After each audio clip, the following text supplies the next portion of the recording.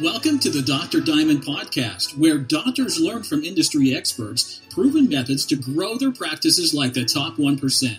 And now, your hosts, President of OfficeAutomated.com, Robert Barton, and the CEO of New Patient Group, founder of the Dr. Diamond Club, national keynote speaker, and featured in Dental Economics, Forbes, and CNBC, Brian Wright to the Dr. Diamond podcast. This is episode number two.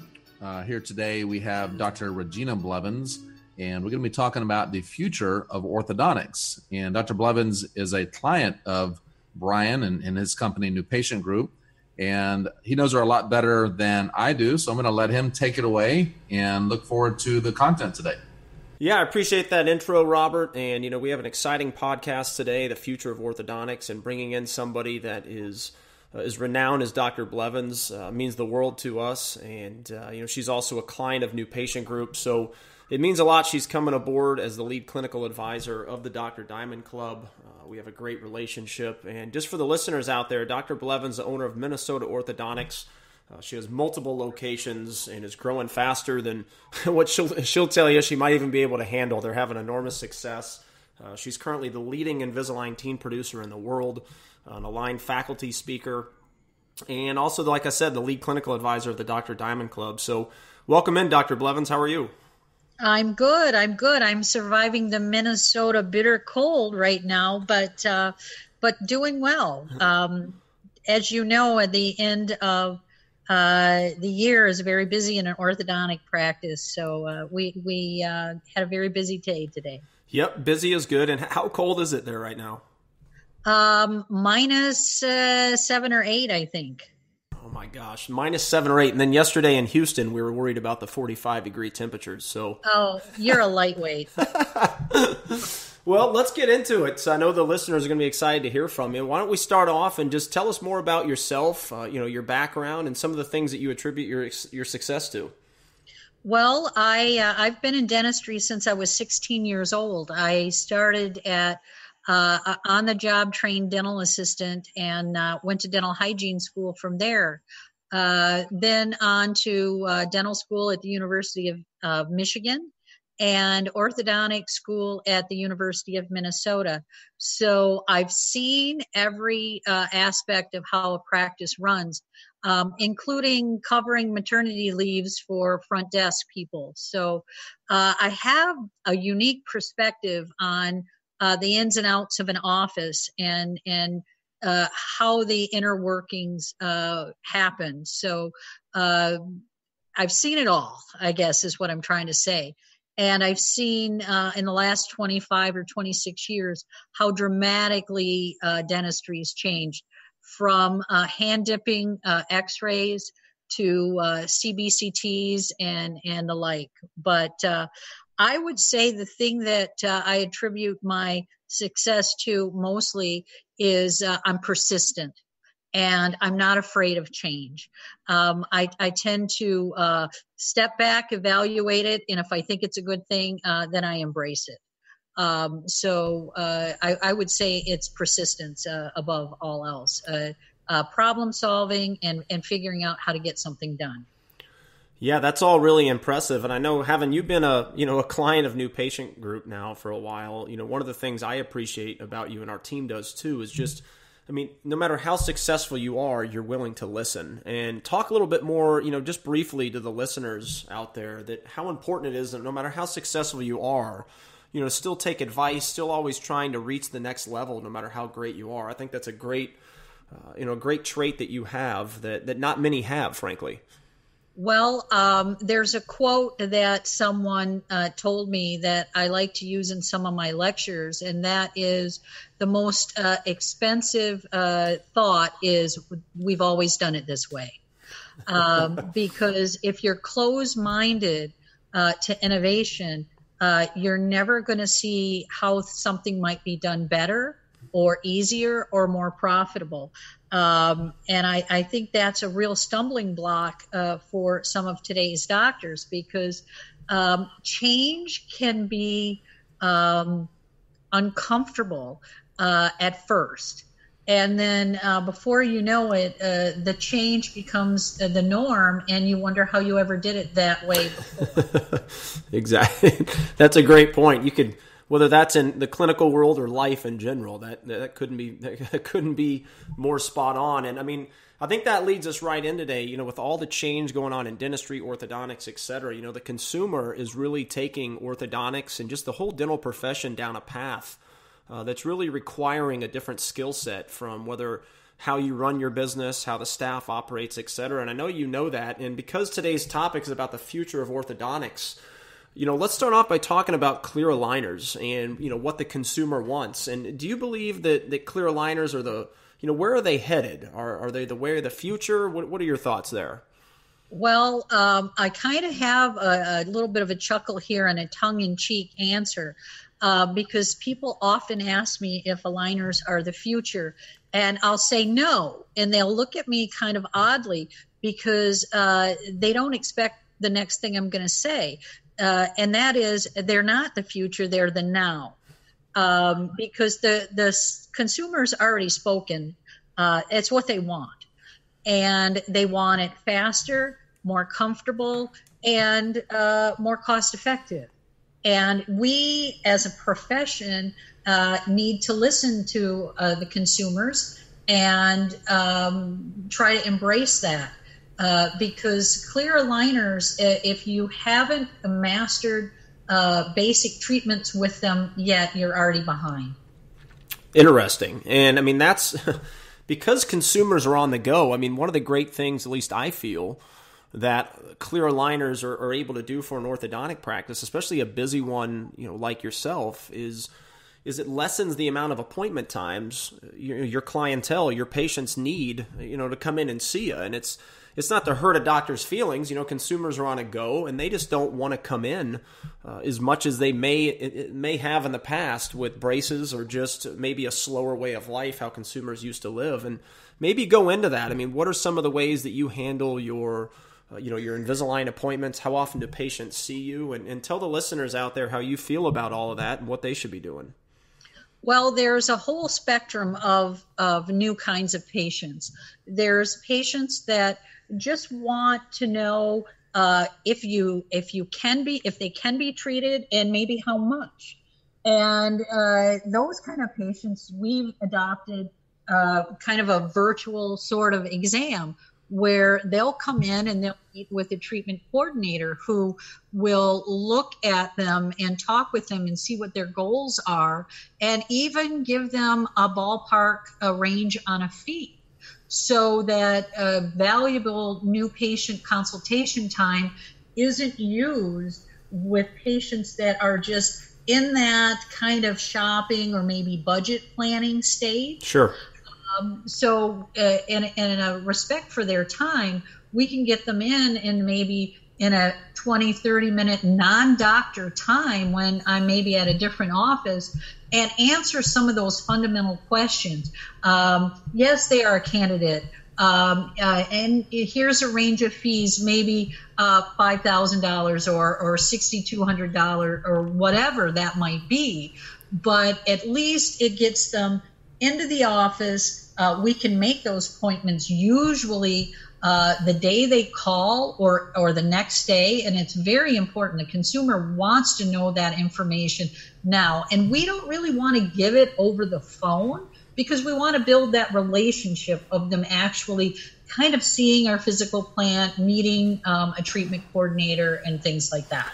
So that's one innovation that we've done um, another one is a same day consultation. If they're ready to start and they want to see a doctor, uh, we try to take all the records that very first appointment. Even before I see them, they've had their scan, they've had their photos. Um, we ask them to please bring any current x rays with them. And if they don't have them, we plan to take them that same day. So when they are done, we're ready to go. Um, we don't need a second appointment to discuss finances. We don't need a second appointment to uh, discuss treatment. Uh, unless it's a very complicated case, we can usually get everything uh, handled in that first appointment. And Dr. Blevins, I have a question concerning that. How long have you done it that way? Was that, you know, did you start that early in your Around practice? 2015. Oh, wow. Okay, so it's fairly new. Up until then, we would at least do um, the records and then uh, a start, uh, you know, maybe a couple weeks later. Okay. But we're ready to sign the contract, and with the digital scanner, um, and we're doing indirect bondings or we're doing Invisalign, we're having them make the commitment that day so we can start processing their case. Um, and then we have uh, a software on the computer that draws up the contract, puts the numbers in, and uh, if they're ready to commit, we're ready to start that same day. You know that that's one thing that I think that among many others that you do that I see because I mean we have the luxury of seeing a lot of practices obviously and the ones that I mean it's kind of sales fundamental 101. I mean every time in the sales world every additional appointment you have in many respects lessens the chance that you're going to close that individual really regardless of the type business you have and in orthodontics it's no different if you don't have your system in place set up to close that consumer day one, you're giving other orthodontists or even GPs for that matter that do Invisalign, because a lot of times the consumers don't know the difference. Uh, you're giving other ones a, a bigger chance to close them if they go to two, three, four for, for second, third, and fourth opinions. So you've got to be ready day one. And I see that as something that sets you apart from, from a lot of people because a lot of doctors – uh, they don't want to do it that way. They still want to do the you know the two three four consult approach, and just talk briefly about why that does not work anymore. Well, first of all, uh, parents and and you know adult patients or parents of, of kids and even the kids themselves, they're busy. So they, believe it or not, see coming in as an inconvenience. So the more times they have to come in, you're already kind of uh, you know setting up a little bit of what I call bad juju. Okay, so if if they come in and and you explain things and you show them the records, you show them the value of why they need treatment, and uh, you know most of today's consumers are purchase now people. Yep. And uh, if you uh, accommodate that, they're very thankful. And uh, many times they've come in saying, We've got three consultations set up. And by the end of their 45 minute appointment, they're, they're ready to sign. They start their treatment and they don't even go to the other two. No, that's really good stuff. And I mean, that. I mean, I think if a lot of doctors take that advice and they just they just shrunk their two, three, four consult approach to one, and I know you and I've had many offline discussions about this. I mean, just one one appointment in itself is going to grow your practice. So that's awesome you do that. And that leads us into, you know, we're talking about consumers, the future of orthodontics, and you know, there's a lot of companies out there popping up that you know take the approach that uh, and, and these companies do well that take the approach that not all consumers are searching for comprehensive treatment. They may be okay with what an orthodontist wouldn't be okay with, but you know, and again, the consumer is the one dictating the marketplace. So, you know, because not all consumers are searching for that comprehensive treatment, I really think it, and I want you to elaborate on this, of course, but it really creates a wonderful opportunity for the practices that are willing to, you know, do a little bit lesser of treatment, quote unquote. Uh, to meet what the consumer wants and maybe charge a lower fee for it. If you could go into more depth about how you handle that and, and your thoughts on that. Well, you know, um, I'm no different than uh, most orthodontists out there. We were trained to um, to do comprehensive treatment, to to put our very best out there. Um, but the consumer has spoken, and they don't always want to to do that. Um, a time investment, maybe they don't want to spend the time. Uh, financial investment, maybe they can't or are unwilling to pay for that. Um, my litmus test uh, personally is if they want an enhancement and I think that's going to better their health and not hurt them, then I've made peace with being able to offer some limited treatments. Um, and I'm finding that uh, probably the the biggest uh, area of patients that I'm finding that with is the parents in the practice already because they're already uh, have faith in our office. Uh, we're treating uh, their children, and they may have already had comprehensive orthodontic care and they just want a little touch up but they're almost afraid to broach the subject because they think that it's going to be two years and five or six thousand dollars. Right. Okay? And uh, also there are patients out there that um, aren't having any functional problems with their bite. They're not having TMJ disorder. They're not having any problems eating, but they would like to look better. And um, I think there's a place for offering um, some kind of uh, services like that. And, uh, you know, there are companies out there that are already doing it. And uh, I rather see an orthodontist who's been trained, uh, who's certainly going to, you know, watch and try not to do any harm, uh, being the one spearheading that. That's interesting stuff. So, I mean, long story short, you you're willing to to treat those people as long as you think it doesn't put them in additional uh, clinical jeopardy. I guess is yes, maybe the best it's way. not going to make their situation worsen or deteriorate, and we're going to tr- make them uh, better. Yes, absolutely. As a matter of fact, those cases that we do do like that, we will keep it open ended and say when these goals are met and we've satisfied this relationship with you, our doors are open if you want any further treatment in the future. Now, of course, that's going to come at additional fee right. and additional time. But, you know, how many other uh, practitioners in the medical field uh, are like that? You know, you, you they don't always treat everything to perfection. We do what we can. No, I think that's a great. And I mean, again, the consumer in the end, the consumer is is gonna they're gonna say what they want, and you know, I think there's some doctors that are gonna stick to how they were taught in the beginning. But I think ones like you that are willing to, you know, make the adjustment to what the consumer's saying they want, as long as you're not putting them in clinical Now, jeopardy, you know, are going to yes. come out ahead. Yeah, don't get me wrong. All with informed consent. This is this is what I would recommend ideally. These are the risks. These are the benefits of uh, comprehensive treatment versus limited treatment, and they make a choice in what they're going to what they're going to do.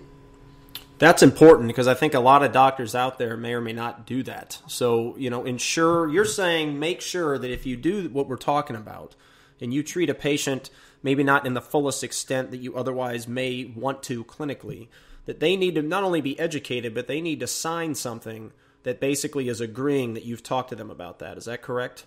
Absolutely, absolutely. That it's a limited treatment, that that benefits and risks have been gone over, and that uh, uh, if they change their mind and they want comprehensive treatment, uh, this is the situation. Uh, you know, it's going to be an additional fee. How much that additional fee is going to be, and how much longer it's going to take.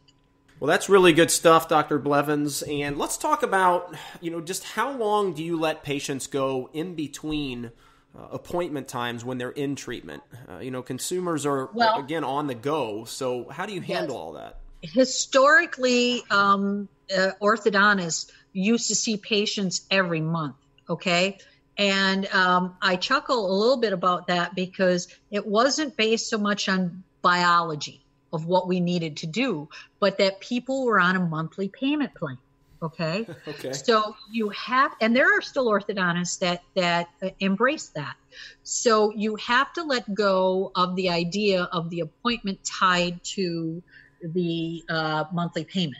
So uh, if patients are put on um, appointment um, uh, sequences, it has to be divorced from the payment plan. Okay, they may have a monthly payment that they make and they're on auto pay or however your office sets it up, but their appointment intervals, even for fixed, can be uh, 8, 10, 12 weeks apart, depending on what phase of treatment, like the initial unraveling of a case. Maybe you only need to see them uh, in 12 weeks. Invisalign's classic that way because you can map out uh, with when the IPR is going to be and things like that, exactly how often you'll need to see the patient. Now, younger ones I see on 10 week intervals because they've got eruption happening and things like that. Mm-hmm. But my adult patients, I can stretch their appointments between aligners uh, appointments to as much as 20 weeks. Wow, 20 weeks. Very successfully. And you know what? You, I laugh about you saying they don't want to see you and it shouldn't hurt your feelings because to tell you the truth, at first it hurt my feelings. Come in and they would say, "Oh, well, can I come in in uh, 28 weeks instead of 20 weeks?" okay. Well, but you've gotten and, over that now. It doesn't hurt you anymore, right? No, it doesn't hurt my feelings at all. and the other thing I found that, you know, when we started going to these things, there's some reluctance that are they going to continue to pay? And they do. Consumers today are used to monthly payments. Okay. So uh, you certainly, if you set them up on an auto pay or something like that, uh, they it just comes out of their monthly budget, and they they just come see you when you tell them, and it's a completely separate uh, entity. Well, I'm glad to hear you say consumers are used to monthly payments because that's about how 85 to 90 percent of all consumers make make purchasing decisions, as if that monthly payment is low enough to fit in their budget. And I, I see so many doctors, uh, like you said, they tie the appointment with the monthly in-house payment, as an example.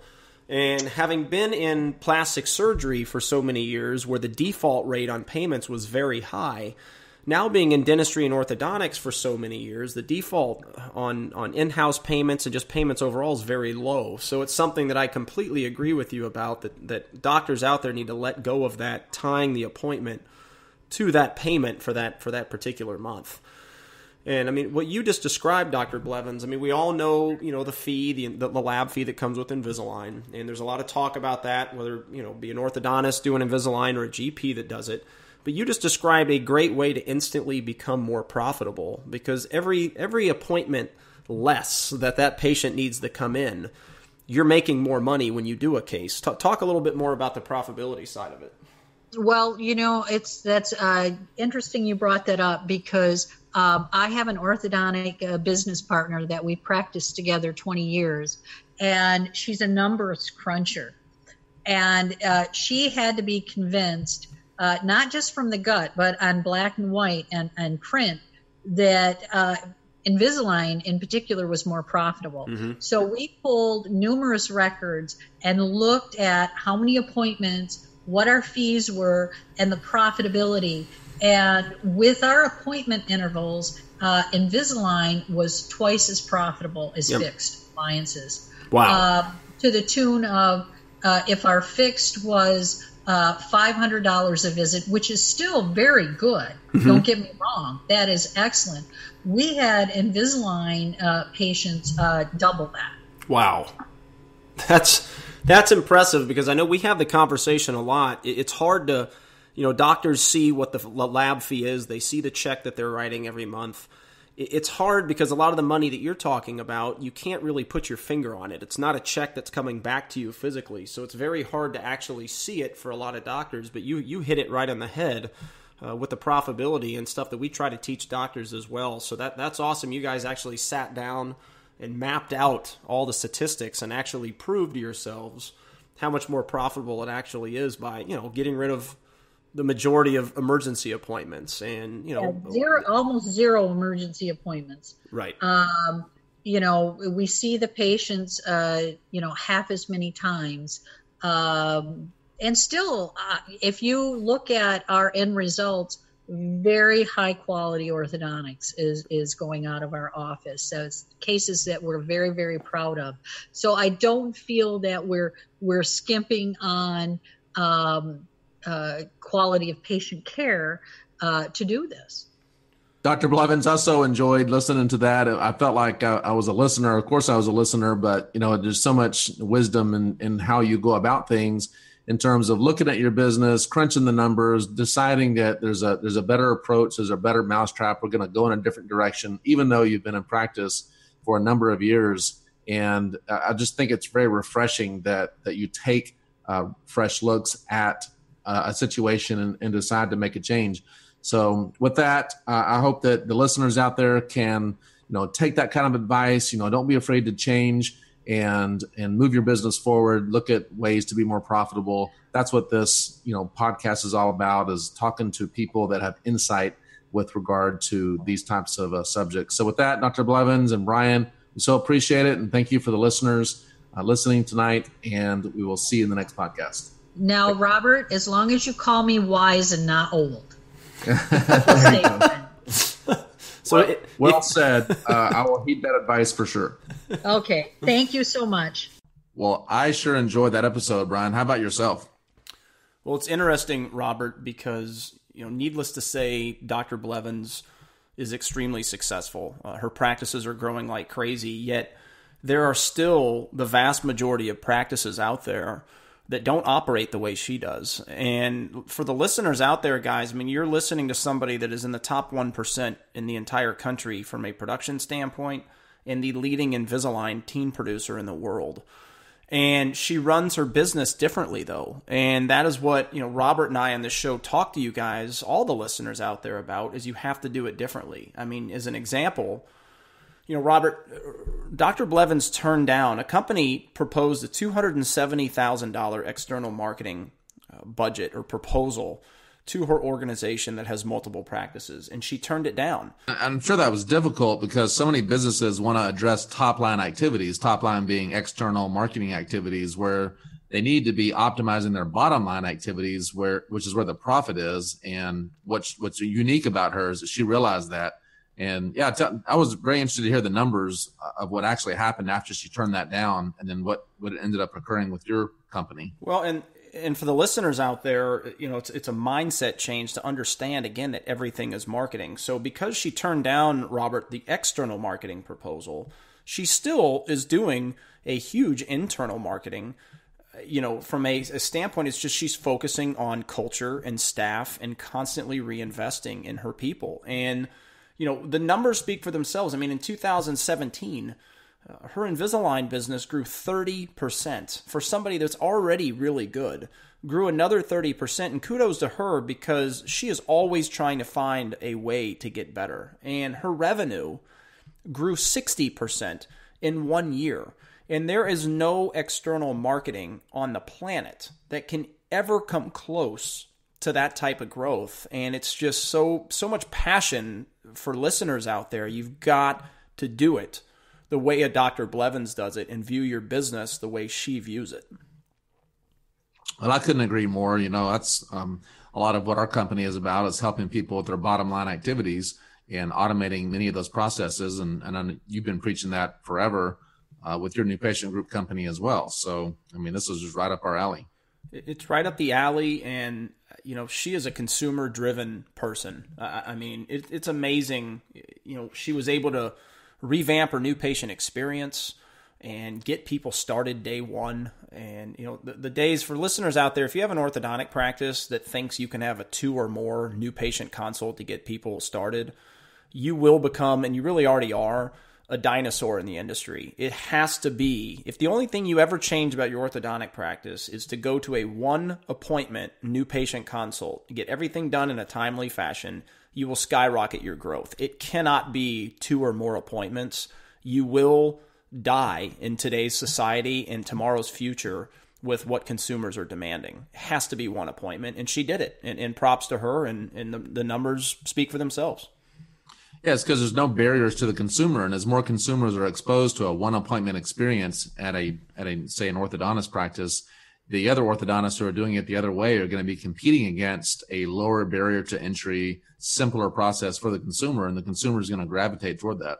It's a great point. I mean, where would you, if you went to three different orthodontists and two of them had multiple appointments to get you started, and then you went to the third one and they said, ah, we're going to scan you, give you a great experience, show you around the place, and present you money in an affordable way, and you can get everything going starting today, uh, who are you going to pick? I mean, it's kind of obvious, yet there's still so many out there that just, for whatever reason, can't get it through their head that they need to go to that one patient, uh, new patient consult. Well, good stuff. Uh, I think that this was a just a phenomenal episode, and it's it's a great example of what we talked about in the first episode where we're talking about how to run the business different, take a look at things a little bit differently, and then implement those things into the into the way the business runs. So this was a, a great example of that, and we're looking forward to uh, the next episode. Sounds good. I am too. Goodbye, listeners. We'll talk to all of you soon.